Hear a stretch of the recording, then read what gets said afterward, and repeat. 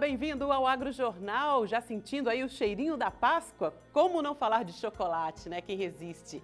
Há relatos que os maias usavam uma bebida amarga feita com cacau em rituais sagrados. Tinha tanto valor que as sementes eram usadas como moedas de troca. Os colonizadores espanhóis levaram essas sementes, as castanhas, para a Europa. E os suíços adicionaram leite, açúcar e assim nasceu o chocolate como conhecemos. Mas o fruto, o cacau, é tipicamente tropical. O cacaueiro gosta de clima quente e úmido. O Brasil já foi o maior produtor do mundo. Mas nos anos 80, uma doença provocada por um fungo, a vassoura de bruxa, dizimou os pés na Bahia, a principal região produtora. A produção nacional vai sendo retomada aos poucos e em novas áreas, como Espírito Santo e também no Pará. Do cacau ao chocolate, na Agro Entrevista Especial de hoje. E para conhecer um pouco mais desse mundo fascinante do chocolate, a gente conversa com o Lucas Cirilo. Ele é agrônomo e é especialista na produção tanto de cacau quanto de chocolate. Lucas, obrigado aqui pela participação Imagina, no AgroJornal. Não existe um cacau só no mundo? Não, na verdade, do cacau, quando a gente fala de, de cacau, a gente está falando de três, é o Teobroma cacau, é o nome científico dessa, dessa planta, né, do cacaueiro.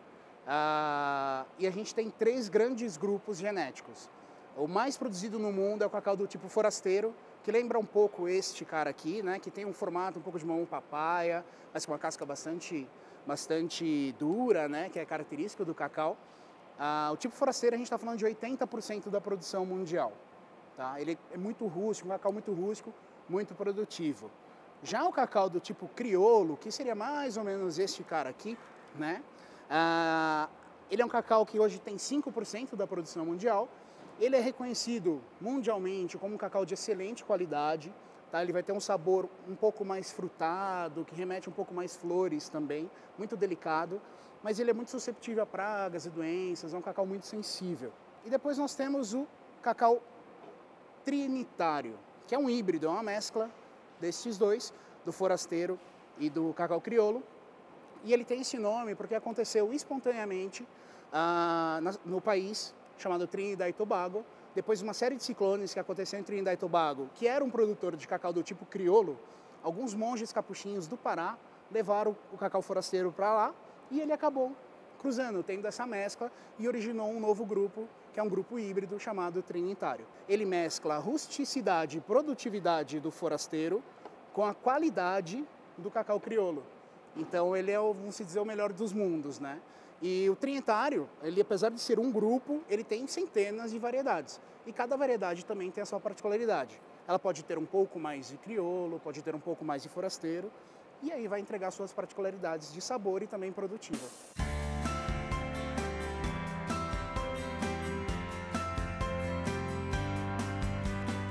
Então o cacau por dentro, ele é desta forma, né?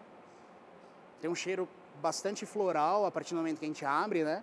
Remete um pouco jasmim, né? E a polpa, o sabor da polpa, ele remete muito graviola, pitomba, uma fruta muito consumida no Nordeste, fruta do conde, essas frutas de polpa branca, remete muito até o cupuaçu, que é um, um parente bem próximo do, do cacau. Experimentar? E a gente prova esse, a partir é daqui. É a, é a polpa, você vai provar a polpa do cacau. Você não vai morder a semente. É como se fosse uma lixia, uma jaca. Totalmente lixia. Lembra muito. Essas frutas de polpa branca, né? Lembra muito. Cacau, eu digo que é o sabor da polpa, né? É uma mescla de frutas tropicais. Tem um pouco de abacaxi, aquela acidez do abacaxi. Nossa, totalmente lixia, lixia. Aquela doçura que é um pouco floral, lembra a flor, né, da lixia. A, a polpa não tem nenhum sabor de chocolate. Se você morder essa semente internamente, você vai ver que também que ela não tem nenhum sabor de chocolate e muito menos cor de chocolate. Ela é roxa por dentro. Né? E o chocolate não é roxo, o chocolate é marronzado, né? tem essa cor marrom bem, bem característica. E isso só é possível através da fermentação. Tá? Então o cacau ele fica por 7 dias fermentando, a cada 24 horas. Cada, cada produtor tem o seu protocolo de fermentação, mas o básico é a cada 24 horas você tem uma vira do cacau. Então fermento, deixo 24 horas, depois de 24 horas eu faço a vira do cacau, deixo mais 24 horas e isso segue por 7 dias.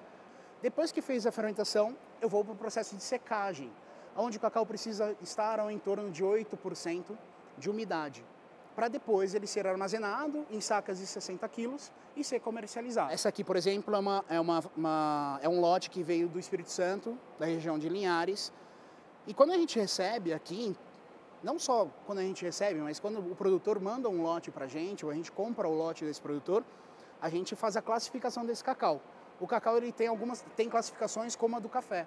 Então a gente tem o cacau fino de aroma, a gente tem cacau tipo 1, cacau tipo 2, cacau tipo 3 e o cacau fora de tipo. O fora de tipo já é um cacau que tem uma qualidade muito ruim. Isso é muito influenciado pela fermentação, como a gente já conversou.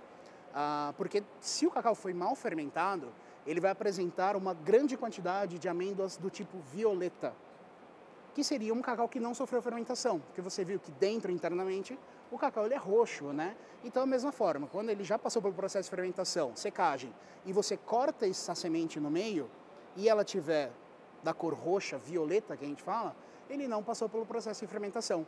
E isso baixa a sua qualidade. Então, eu faço a classificação desse cara, da semente fermentada e seca, e eu já passo para o processo de torrefação. A torrefação pode... Tem chocolateiros que utilizam 30 minutos, tem chocolateiros que utilizam duas horas.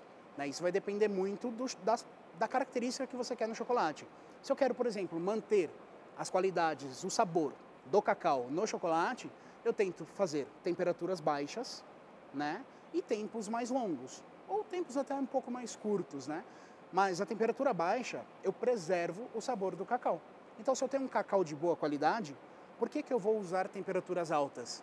Né? Se eu já tenho um cacau bom, eu preciso, quero manter o sabor característico deste cacau. Né? Então, eu utilizo temperaturas baixas. cacau, depois que ele é torrado, ele é fácil você fazer o descasque, tá vendo? Você precisa tirar essa película. Que é a casquinha? A casquinha. Muito simples, ó, solta fácil. E a parte interna é chamada de nibs de cacau. É ele que a gente vai utilizar na continuidade do processo. E depois do nibs eu faço a moagem dele e eu tenho a principal matéria-prima da indústria de chocolate, que é a massa de cacau, que seria um chocolate 100%. Então, a massa de cacau, conhecida também como líquor de cacau, é o resultado da moagem do nibs de cacau. Simplesmente moagem? Simplesmente moagem. Fica líquido assim? Fica líquido assim porque 50% da composição de uma semente de cacau é manteiga de cacau. Os outros 50% é pó. Então aqui, como ele está numa temperatura de mais ou menos 30, 35 graus, ele está líquido ainda. Ele está pastoso, ele está uma massa. Se ele passar por baixas temperaturas ou resfriar, ele vai ficar sólido, porque é a manteiga de cacau que vai dar essa, essa estabilidade para a massa de cacau. A partir da massa de cacau eu formulo minhas receitas. Aí eu vou fazer, por exemplo, 85%, eu vou utilizar 85% de massa de cacau e 15% de açúcar.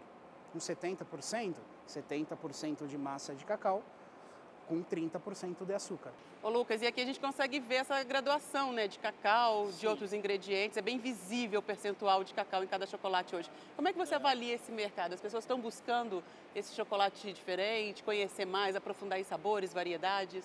Uhum.